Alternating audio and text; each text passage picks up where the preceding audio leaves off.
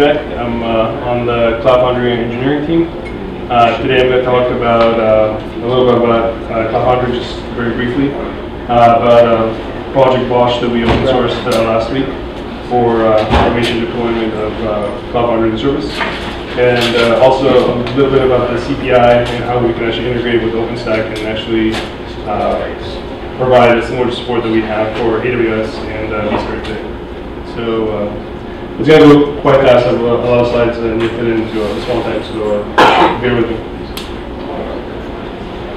So uh, for the agenda, we just again talk about the background of the, the project, uh, both Foundry, the service, and also BOSH that we released last week. Then there's a lot of C's down there, so we'll talk about the, the concepts, um, some of the contracts that we rely on to provide the, um, the abstractions that we have today. We have uh, the control that we um, provide throughout the system, and it's one of our main uh, design goals to have very reliable and predictable deployments for a large production service uh, that we deploy today.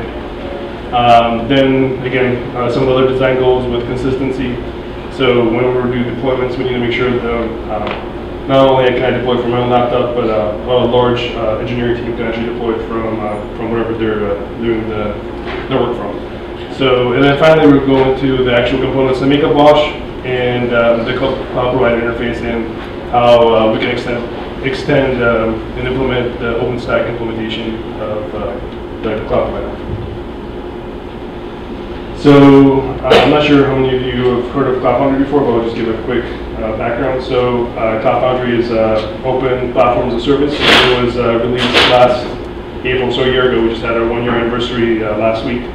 It is uh, open source. It is um, also open in terms of the frameworks of runtimes that it supports, and like I said, it can run pretty much anywhere. It runs as a service uh, hosted by VMware, but it's also run by uh, various partners out there as well. So. Uh, that's a little about Foundry, and we can talk about a little more if uh, you have any questions towards the end of the talk. Um, and then, so when we designed Cloud Foundry, we also realized that we needed a system for actually deploying uh, the service itself. So uh, the system today composed of uh, hundreds of VMs, and uh, we really were looking for a way to manage them in a, um, a very predictable, reliable way, and also uh, try not to do any manual steps and just use a single tool. And you looked at the kind of the ecosystem at the time, and we saw the, you know, try to use Puppet, try to use Chef, trying to use some of the other similar tools, look at Capistrano a little bit. We liked a lot of things from the various tools, but um, we really were looking for just one holistic approach, using one simple tool, something that all of our engineers could use, uh, in a way to deploy very simple environments, but also very large uh, environments that we use in production. And we'll talk about uh, some of those uh, concepts and, again, design principles uh, throughout the talk. So, if we actually take a look at what BOSH does, or some of the you know the main features, is it's one of the few tools that has a very prescriptive way of building releases. So if you take a look at uh, some of the other tools, they rely on the existing package managers, existing ways of archiving the code, and so on. What we did was something different. We actually invented our own uh, packaging uh, system.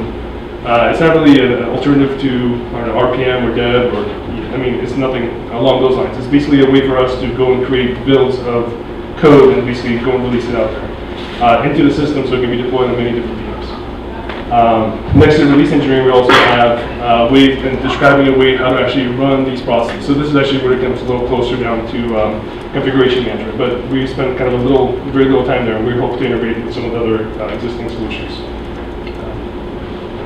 Next, uh, for lifecycle management, so we wanted to have a tool that basically performs all sorts of updates. We don't want to have a tool that only does small patches or full uh, rolling updates, and then a different tool for kernel updates. We really wanted to have a tool that, no matter what kind of update, it's a single, you know, BOSH deploy or BOSH update. And that was really important, and our developers don't really care what kind of change they're making, whether it's a one-line change or it's changing the Linux kernel from, you know, 2.6, 3.2 to 3.2, whatever the next release is. So it was very important to have uh, a single way of actually managing these releases. Uh, I kind of been talking about this, but again, having a single tool and have it easy to use is very critical to us. So for uh, our engineering team, uh, we have many people uh, deploying uh, Cloud Foundry to their own release, uh, to their own dev environment many times a day. we ourselves actually deploy the production service twice a week. So when we do these kind of rapid changes, at least rapid for us, we really need to make sure that everyone on the team is empowered to actually be able to do a production-like deployment on their own And then when we actually do the production deployment to the real system, it's no different than what the developer did on their own little uh, environment. Um, and then finally, the infrastructure portability was really key. Even for us at VMware, I mean, we have uh, vSphere, we also have the vCloud um, director, and they have different APIs. And from the very beginning, we realized we didn't really want to build uh, or have a really tight coupling between our system and the actual infrastructure below. So we created a very simple, uh, it's literally 10 methods of how we actually interact with infrastructure service. Um, and we implemented one for vSphere, uh, there's one for vCloud coming later this year, and there's a work in progress, uh, kind of a full-blown implementation for Amazon as well. And uh, actually, Dr. Nic, uh, I don't know, some of you guys might know him uh, from the community, but he actually uh, deployed uh, the WordPress sample that I'm going to talk a little bit about to AWS uh, earlier this week. So that was kind of exciting. Um, so next, I'm going to kind of uh, quickly introduce the concepts and then dive into a little deeper in the future slides. But um, so, like I said, BOSH is a source, I mean, a release engineering tool. So we manage uh, all of the software that goes into the system. So let's say you're deploying, I don't know, some kind of a Hadoop cluster. So all of the Hadoop components are going to be in the release itself. Um, we'll see the WordPress release. We have uh, MySQL server in there, we have the WordPress processes and whatever else in there, everything has to be in this release. Um, we have packages and jobs. Packages kind of, again, describe the, just the software uh, bits. Uh, jobs describe how those bits are actually run inside the VMs and how they're actually managed through the updates and how to actually update them in a way that doesn't have a strong uh, impact or a high disruption on the system. We have a service that we don't want to have the users feel the updates twice a week. So we have a lot of hooks to drain the sessions um, and just make sure that the, the updates are very non-impactful, or as much as we can. Uh, releases kind of tie in some of those things together. Uh, stem cells is our term for uh, VM templates, so we have also our own VM that we deploy, which is kind of important for us. Uh, it has a little one of our components that makes all the things above uh, happen. And then finally, deployments is what actually kind of ties all of the uh, things above together. So everything will be above deployments is completely agnostic from where it gets deployed whether you deploy this on AWS or you deploy this on your own private vSphere cloud or OpenStack, um, it doesn't really matter. All those things are going to be the same. So when you build a release for you know, WordPress as one of the samples or Cloud Foundry, that same release is going to be deployed on all those uh, same things. Uh, the last part actually kind of like binds the developer to the road. It has the very explicit networking settings, storage settings, um, and basically everything that has a template, it gets uh, bound at that point in time. So that's kind of important. So now we're uh, looking at the source and blob. So this is kind of a, a little LS tree out of our uh, release repository. Uh, it's maybe a little hard to see from the back, but um, the important thing is, again, when I said prescribed, we really have a, a, convention of how we do a lot of things, but this convention gives us a lot of flexibility and a lot of power of doing almost any kind of update. So here we have the, just the top level structure of the release. It's basically a Git repository, so we chose basically one of the source control systems and we use Git. Um, all of the code is either submodule of this or directly in here. If it's a large binary object, let's say the MySQL or um, I don't know, the Redis uh, source, we probably don't want to check that into Git itself just for um, polluting the index. So we create a little uh, helper to use uh, blob um, API using the BOSH CLI. So we have a single tool called the BOSH CLI. And it helps you kind of manage them and store them in a, in a um, abstracted out uh, blob store. So you can use S3, you can use um, anything else that implements a very simple uh, CRUD API. And that's important, so again, we don't want to have gigabytes of data in our, in our Git repos. So next we have packages. Uh, like I said, packages are, I mean, it sounds like, you know, package manager, but it really is not. Um, it is basically just describing what actual files make up the contents of a terminal. I mean, it has very limited metadata, but again, it's very, very uh, simple.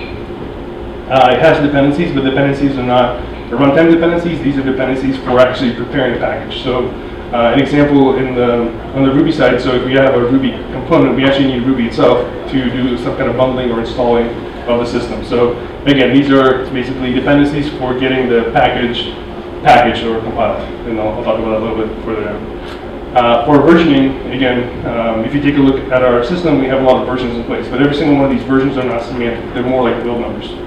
It's important because they're fully managed by the BOSH CLI, and it makes it very nice that you can actually track what happens between one release to another. So you can actually, you do a BOSH create release, it builds the packages for you, you see the new versions, you make a change and you see that the version gets bumped. So it really is a build number, but it's very, very important to uh, to uh, to see what happens in production or you know, uh, development environment, how you progress through the changes. Uh, finally, there's two things, prepackaging and packaging. So um, these packages are kind of agnostic from, again, from where they run. So whether you run on a 32-bit system or a 64-bit system, or like I do a lot of my development on my Mac, and we deploy on a, an Ubuntu farm, um, it's important for us to basically you know, have that flexibility. So what we do is instead of actually providing the binaries up front for most of the things, we actually just provide the source. And then when we actually deploy the system, the very first step is it tries to actually go and compile or prepare the package to be used in that environment. And it actually uses exactly the same VM template to prepare that package as the one it's actually going to be using later on to run. it. So you're not surprised with you know, compiling something on one machine and later on moving it somewhere else where it's not going to work. You're going to know ahead of time that it's, it's uh, not going to work when you compile these things. And then finally, uh, pre-packaging. Um, basically, we have a little hook. If you need to do any kind of uh, third-party fetching of, of, of, components or whatnot, you can actually do that here. And I'll, I'll give a quick example of, uh, of uh, a simple package and a little more complicated one. So, hoping some of you guys are familiar with Redis. It's an open source, uh, I guess, uh, data structure key-value system, as Salvatore describes it. But um, it basically is very, very simple. So on the left-hand side is, again, one of our conventions of basically using a really simple uh, YAML specification. Um, it's basically a single blob pointing to a file, uh, the Redis starball. And on the right-hand side, we have a packaging script that gets executed in the VM template where it's going to be uh, uh, run later on. So it literally does uh, make and a make install into a predefined uh, location. And um, right here, it, it's really important. So everything that goes into the BOSH install target, again, one of our conventions, is what gets packaged up later on and will be deployed on all the VMs where it's going to be uh, consumed. This is important because that location is actually going to be the same location where we install it. So if you have any kind of hard-coded limits in terms of like the shared library has to be in that location, like that's just going to work. So we manage all those things uh, for you. Everything that's not in there is not going to be saved. It's not going to be provided in the environment when it runs. So that's going to and then just a little bit more uh, of a complicated example. so Warden is actually Cloud Foundry's um, uh, Linux cgroup um, manager, so similar to LXC, for those of you who are familiar with that. Um, so the difference here is in the specification we have a dependency on Ruby. So when we actually uh, compile this, we need Ruby to run uh, the bundle exec uh, rake setup script. So that's what the dependency means. Means basically when you run this script, Ruby is going to be available on the system at that point in time. Uh, also has a couple blobs, so one for uh, the warden and also one for the gems, which is executed in the pre-packaging script because we actually don't want to check in the gems into our Git tree. Again, we don't want to pollute our index.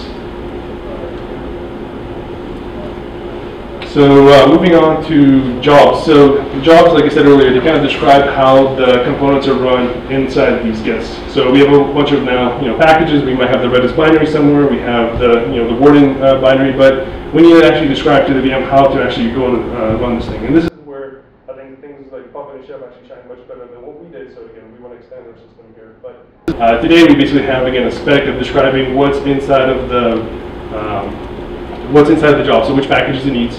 It has a, list of templates. So again, if you're familiar with Puppet and Chef, uh, it's really similar to that. Um, we also have control scripts, so if you want to actually start it up and have some custom initialization code that goes in there.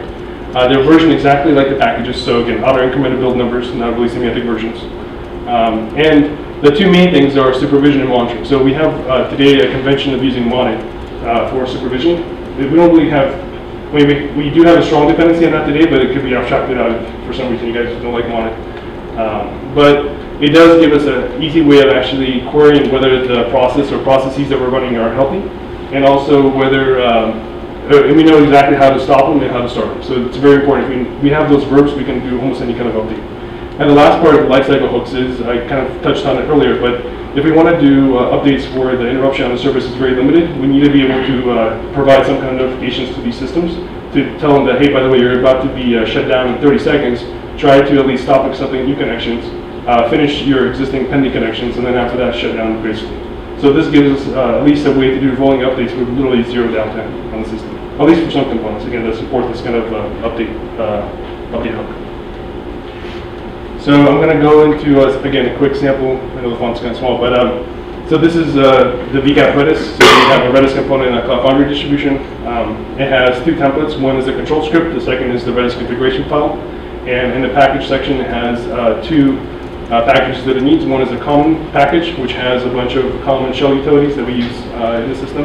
And the second is the Redis package that we uh, saw earlier. Uh, the sample job, so basically this is a Monit stanza, for those of you familiar with Monit, but it's really simple. So at the very top, we have uh, basically a location to the pid file and uh, start stop script, and then finally the group VCAP. Our contract with Monit is that we basically assume that everything in the VCAP group uh, is part of the deployment. So if you have four processes in here, we'll actually go and start and stop four processes whenever you do these deployments. The one interesting thing is if you look at the path, it has var VCAP jobs and that's VCAP Redis. It's actually a similar, very similar to Capistrano uh, with how they do deployments there. Uh, that's important because, again, you might have um, hard-coded paths to var VCAP sys or var VCAP jobs, VCAP Redis bin, but that's actually assembling to something else. So you don't have to worry about what version of the job or package you're using. It's actually resolved through assembly right here. So again, it's another convention and a contract that we use, but it makes a lot of things very easy later on, so you don't have to worry about what version you're on or whatnot. Um, so here's a sample control script. Again, it's probably even harder to see, but uh, the important thing here is it's actually a ERB template. And again, the templating engine was kind of an arbitrary choice for us, but it was just one that we chose at the time. And it allows us to basically pass in properties all the way from the deployment into various configura uh, into these uh, configuration files.